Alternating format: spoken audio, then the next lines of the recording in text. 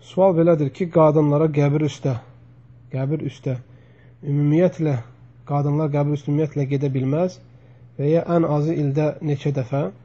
Cavab odur ki, qadınların qəbir üstə getmək məsələsində elm əhlinin arasında ixtilaf var. Bu ixtilafın səbəbi də rivayət olunan hədisin ləfzlərində və bu ləfzlərin səhih və zəif olmasındadır.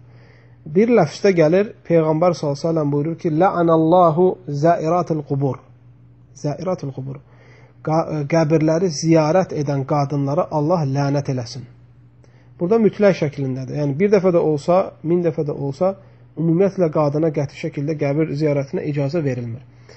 Və elm əhli bunun səbəbini, e, yəni ki, əsas səbəbi nədir? Nəyə görə qadınlara icazə verilmir məsələsinə toxunanda zikr edirlər ki, Çünki qadınlarda asiliklər baş verir. E, zəif olduqlarına görə, səbirsiz olduqlarına görə qədərə qarşı çıx çıxa bilərlər deyə, e, ağlaya bilərlər deyə, üzlərini yola yola bilərlər, saçlarını yola bilərlər və s. kimi işlər törəndiyinə görə ona görə bu şey, bu qapı deyirlər ki, bağlıdır.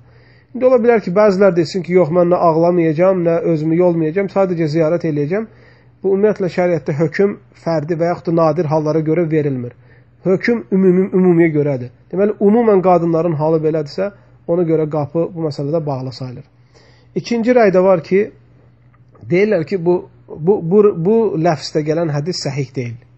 Səhih olan ləfs odur ki, Lə'anəllahu zəvvaratul qubur.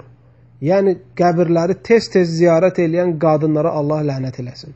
Deyirlər, bu, bu, bu ləfzi, bu rivayəti səhihdir bu hədisin. O da qəbirləri tez-tez eləyən, e, qəbirləri tez-tez ziyarət edən qadınlara Allah lənət eləsin. Və bunlar da deyirlər ki, ona görə qadına ara bir, nadir halda icazə verilir qəbir ziyarət eləməyə, lakin şərtlər var. Şərtlərindən birincisi kişilərə qarışmamaq, yəni ki, kişi qadına qarışsın, qadın kişiyə qarışmasın, belə şeyin olmaması. İkincisi şər'i hicabla qadının orada bulunması.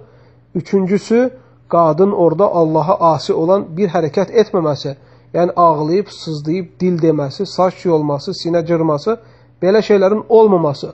Dördüncüsü də ora getməkdə məqsədi ölüyə salam vermək və axirəti xatırlamaq və ibrət almaq. Deyirlər, əgər bu, şart, bu şərtlər olarsa, ara bir ziyarət etməyində e, e, problem yoxdur. E, ümumiyyətlə, ən salaması odur ki, ən salamatı odur ki, əgər qadın bu şərtlərə riayət eləyərsə, ara bir ziyarət eləyə bilər, lakin ümumiyyətlə tərk eləsə, onun üçün daha yaxşıdır, çünki ən azından ixtilafdan e, çıxmış olur. Allahu aləm. İxlasla.com saytı tərəfindən təqdim olundu.